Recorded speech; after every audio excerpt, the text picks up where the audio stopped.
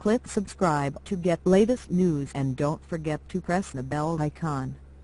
In case you missed it, some major companies who had no problem sponsoring the 2012 GOP convention when a career politician was the nominee pulled out of the last contest. Perhaps it's time we boycotted these companies as well. Wells Fargo, JP Morgan Chase, UPS, Motorola, Ford and Walgreens all decided not to participate in the GOP's Cleveland convention last year when Trump was the nominee, per thehill.com. Naturally, none of these companies would comment on whether it was because of Donald Trump himself they decided to back out. If that is the case, it's a tad bit ironic, considering they are trying to avoid offending people. They just offended millions of Trump supporters instead. Donald Trump regularly cites Ford in his stump speech because it is one such company which has taken advantage of NAFTA and the other poor trade deals of the Clinton administration.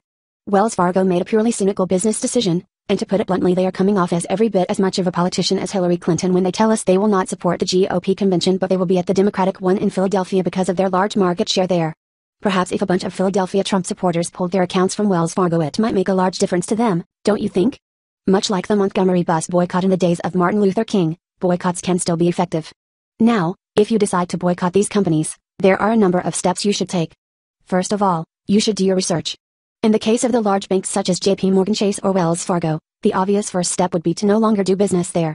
However, you also should look at what these companies control and then refuse to do business at any of their interests as well. Moreover, consider picking a company where its reputation is already waning. Ford has come under criticism from a number of other people for its greedy decision to ship jobs overseas, so Ford is an obvious target.